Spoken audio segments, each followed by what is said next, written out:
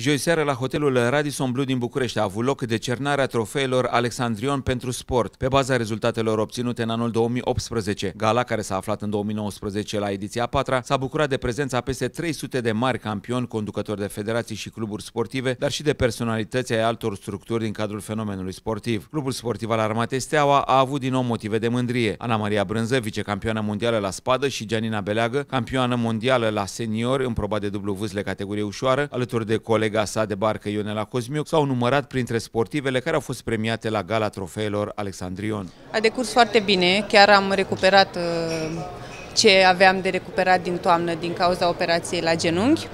Uh, sunt uh, la cot la cot cu Ionela și cumva pauza asta de respiro ne prinde bine pentru că de mâine ne întoarcem din nou în Italia pentru alte 5 săptămâni. Astăzi am venit la prânz din Italia și ne întoarcem acolo nu înainte să facem un antrenament la Snagov, ca să nu pierdem niciunul.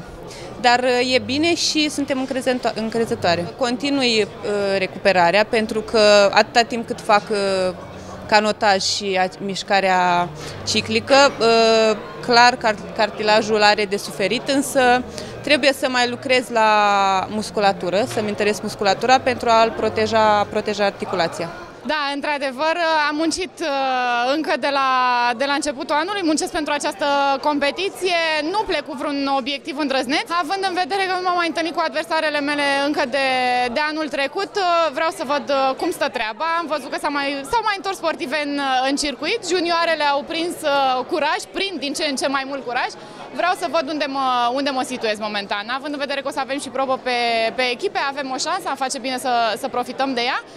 Vom vedea ce va fi acolo. Barcelona este o etapă de cupă mondială cu uh, un număr foarte mare de, de participante în fiecare, în fiecare an. A ajuns deja la ediția 43 dacă nu mă, dacă nu mă înșel. Am avut rezultate bune cei drept până acum la, la Barcelona. Sper să îmi țin obiceiul. Care este atmosfera în echipă? Totul este în regulă, nu avem probleme medicale și asta e foarte important pentru, uh, pentru noi.